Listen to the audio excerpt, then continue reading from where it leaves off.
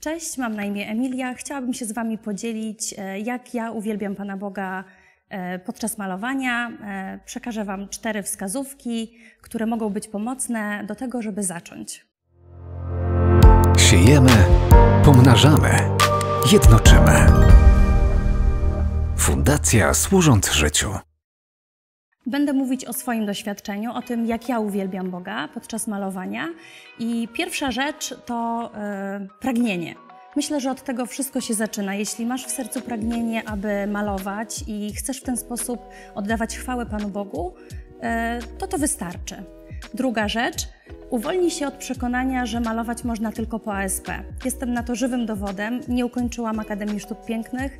Malowanie to tylko takie marzenie z dzieciństwa, które na nowo Bóg niedawno odkopał. Yy, I nie chodzi o to, żeby wchodzić w malowanie z perspektywą perfekcjonizmu. Yy, możesz być niedoskonały, możesz dobrze się w tym bawić, yy, możesz przed Bogiem być sobą, możesz być dzieckiem i możesz mieć pewność, że e, to nie musi się Tobie podobać. Po trzecie, przełam swoją nieśmiałość. Gdy czujesz, że Bóg zachęca Cię, żeby pokazać komuś jakiś obraz, może będziesz miał do niego słowo, to po prostu to zrób. E, nie musisz mieć od razu jakiejś górnolotnej interpretacji podczas modlitwy. E, często, gdy maluję, pojawiają się jakieś myśli, wrażenia. Staram się to przekazać komuś, e, dla kogo maluję. Trzecia rzecz, przełam swoją nieśmiałość. Gdy czujesz, że Bóg chce, abyś pokazał komuś swój obraz, to co namalowałeś lub stworzyłeś, to po prostu pójdź za tym.